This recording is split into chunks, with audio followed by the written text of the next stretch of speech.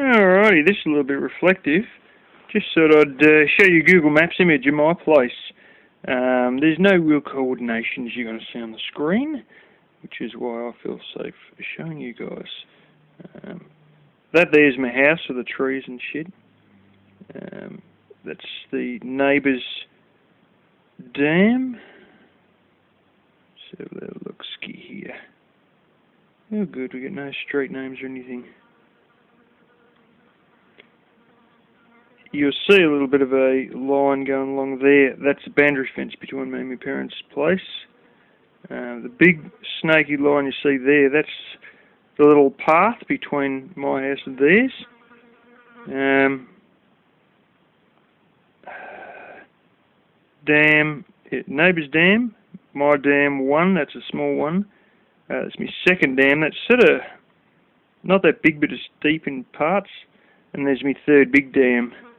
And originally, um, blasted fly.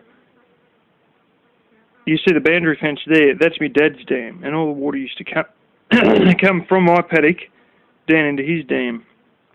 And my uncle uh, decided that, no, nah, he, he likes it uh, a bit better to uh, just put a dam in right in that same spot that catches all that water then the only stuff my dad would get would be the overflow that runs through here uh, into his place. But he said, oh, that side of the paddock was always wet all the time. Yeah, well, that was the water that was going into my dad's dam. But anyway,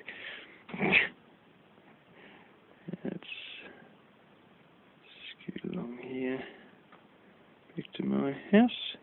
Oh, that's the almond trees there. Um, that there is all the cypress pines, and you notice it's in a sort of a bit of a shape, and like that. There's a road right there, and nobody seems to realise that I live here a lot of the time. Like, as in, what I mean by that is I live here full time, but there's people who have lived around for like 15 years before they've even known that I live here, or anybody lives here, or even that a house exists here. Um, yeah. Yeah. You don't need to guess what that is. It's a cardboard house. There's a water tank. Uh, there's me IBCs for watering the trees. Hmm. Oh, there's my house.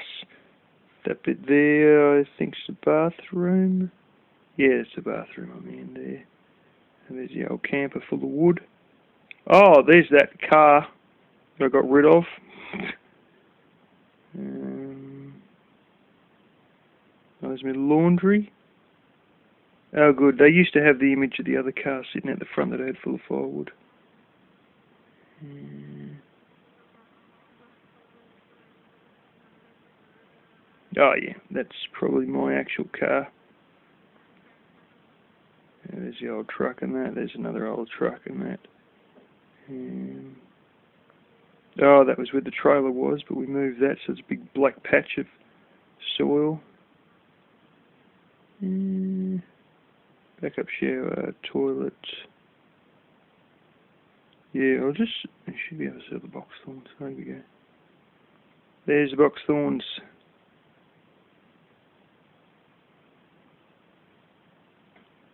Of them. Oh, that there's the other cypress pines that were made as a sort of a sheep shelter thing at one point back in the 1920s. Uh, these boxes, all this is all gone. So keep all this in mind for future reference. I might actually save a copy of this video. And then the next one, because they update them every year or two, you'll see all the box lines all gone. So, this one has got shadows on it, so you can sort of probably work out what time of the day it's taken. I'd say it'll be about 11 o'clock it's taken. There's the little IBC for my grapevines, which are basically stuffed. Yeah, anyway, there you go. This is the uh, forest where it's talking about the gold and whatnot. Uh, compare that to the DIY world forest.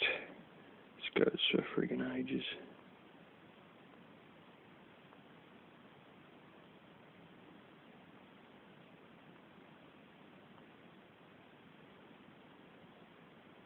Yeah, anyway, you get the general idea.